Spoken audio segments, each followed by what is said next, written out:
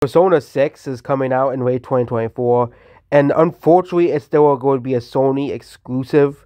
So, if you want to play, and it's funny they put you know the Persona characters in Smash Bros, but Atlus would rather put the game only on PlayStation than you know put it on Nintendo, which would probably sell better on Nintendo than PlayStation.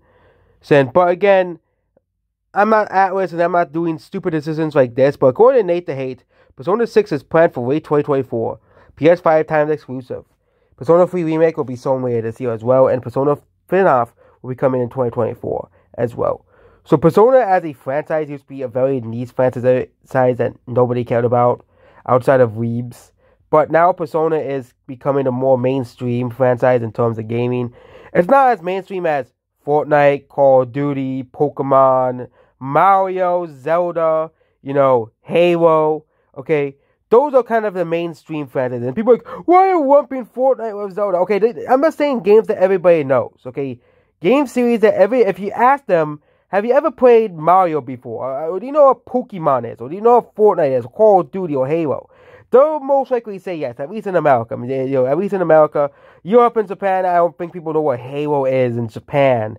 Okay, Halo is a foreign concept to them. Okay, but I'm talking about mainstream in America. Okay, Persona as a series is becoming more and more mainstream, which for the series is pretty good as well. You know, I think I think you know God of War could be mainstream. I considering everybody knows God of War, Elden Ring could be mainstream because every you know everybody in the dog was talking about Elden Ring.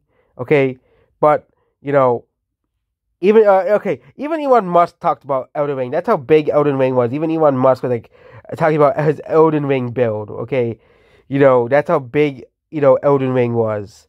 Okay, you know, but yeah, Persona Six unfortunately will not be on the Switch at the same time as the PS5. I think Atlus is leaving some money on the table by making it only on the PlayStation, sin because the Switch and Nintendo's next console, will likely released in 2024 Persona 6 could be a perfect launch title for Nintendo's next console, obviously.